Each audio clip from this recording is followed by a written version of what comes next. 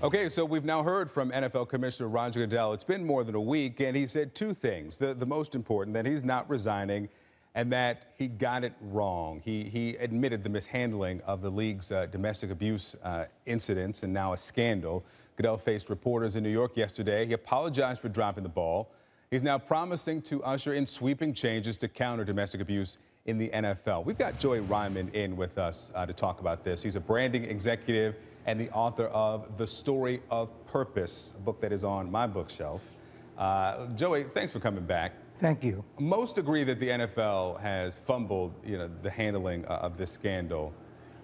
Is this good enough, or is this at least a good start for Goodell? It's a good start, but it's still he's still on the defensive, and this game is not a, a game of defense. It's a game of offense. We've got to tackle a number of issues. We've got to tackle the brand, the culture, and football itself. So, all right, let's talk about this. Yeah. Is it possible that there is one element that, if it's, if, if it's discovered, could be the end for Goodell? Let's say he saw the, the, the recording inside the elevator. Is, is that the end for him, or can he survive that even? You know, this is not a, an end game for Goodell. This is really an opening of, an, of an, the most important issue that we're facing.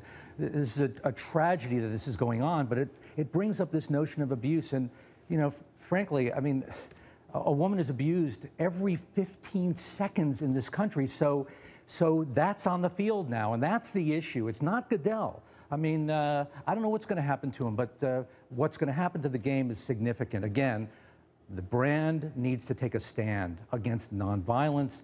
The culture uh, the culture needs to be tackled, and, and we need to start rewarding these players not for hedonism but heroism, and really for safety and for team and uh uh, uh, uh, uh, for partnerships. And finally, the most important part of this, mm. and it's bigger than Goodell, is the game itself. What's the purpose of football? The purpose of football originally was to exceed one's limits, not beat the other guy and take that lesson home. Well, uh, it seems that that is what many people are tuning in for now, and and the ratings are soaring. Let me ask you about the uh, the endorsers, some of the the corporate huh. sponsors. uh, we've heard from Anheuser Busch, we've heard from uh, Procter and Gamble, but they're not exactly stepping away.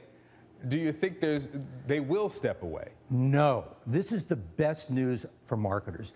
And, and, and congratulations to Procter & Gamble and Anheuser-Busch.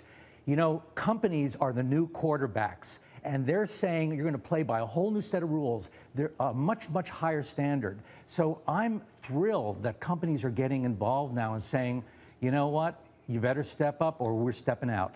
All right, Joey Reiman, uh, branding expert, and uh, thank you so much for joining us this morning. Thank you, Victor.